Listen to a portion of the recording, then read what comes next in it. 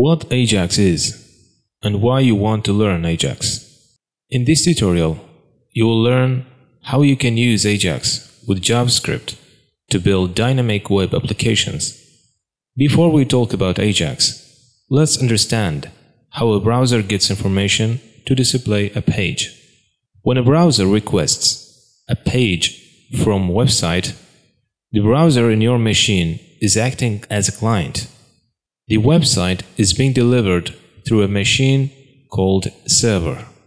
When you ask for a page, the client makes a request to the server and the server returns a page. Sometimes you may want to ask for some additional information from the server.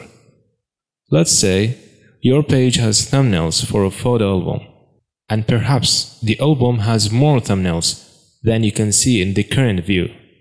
Without Ajax, if you want to see more thumbnails, you would have to make a request back to the server, and it will send you a whole new page with additional thumbnails. That means the server will send a lot of information that you don't really need all over again. With Ajax, the server does not have to send you the whole page again. It just sends the pieces you need, in this case, new thumbnails. Ajax is not a single technology, but a group of technologies working together to make that happen. Technically, Ajax stands for Asynchronous JavaScript and XML. Asynchronous means that the client can request new pieces of information from the server at any time. It doesn't have to wait for a page to reload.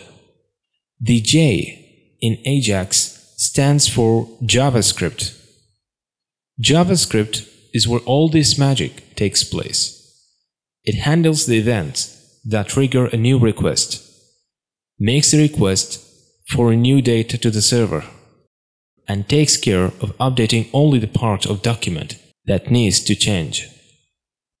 JavaScript talks to the server through a set of programming methods called an API and uses what's called an XHR or XML HTTP request. This is where the X in Ajax comes from. The XHR API lets the browser send and request data from the server. This can be a bit confusing because a lot of people think of XML as a language used to describe data. That's a lot like HTML. Sometimes people assume that the X in Ajax means that the data from an Ajax request has to be in XML.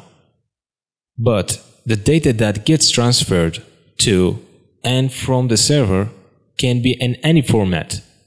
And it's usually either a text file, HTML, a JavaScript object like JSON.